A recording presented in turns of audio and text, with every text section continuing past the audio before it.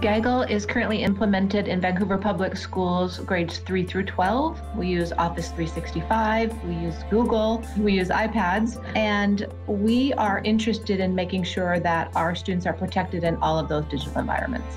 The reason that we implemented Gaggle is because our superintendent had the vision that if we were to put devices in the hands of students on a one-to-one initiative, that we would be protective of that environment for them. Having a proactive approach to student safety digitally in today's world is essential. And if we can provide some, some buffers, some parameters, kids can be more laser focused on their academic pursuits and be more successful in the future.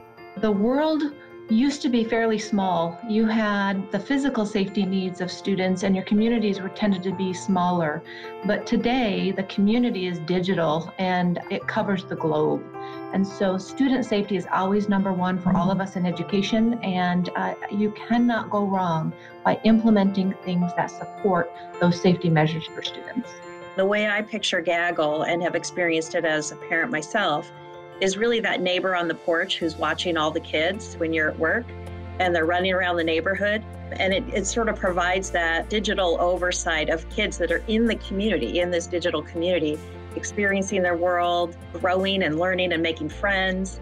And it's just that person that would call you and say, you know what your son was doing today? I would really recommend that other districts contact those districts using Gaggle to talk about their experience. There's no competitor really out there that matches what Gaggle does for districts and the way that they work with districts to support your needs around your student safety.